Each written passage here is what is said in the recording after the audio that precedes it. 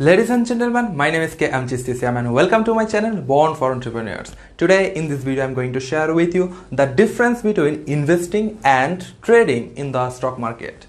Investing and trading are two very different methods of trying the profit in the stock market. Both investors and traders look for profits through stock market contributions.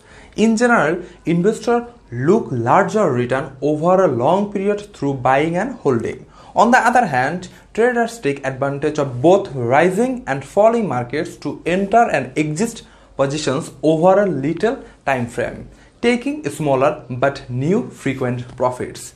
The aim of investing is to slowly build wealth over a lengthy period of time through the buying and holding of a portfolio of stocks, mutual funds, bonds, and other investment tools.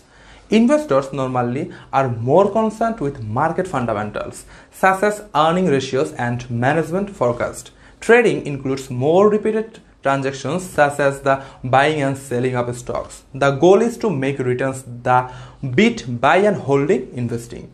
Investors may be happy with annual returns of 12% to 15% while traders might pursue a 10% profit each month.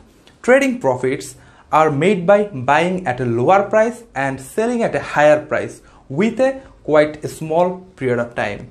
Investing take long-term method and frequent applies to such things as retirement accounts. Trading contains short-term plans to maximize returns daily, monthly, even quarterly.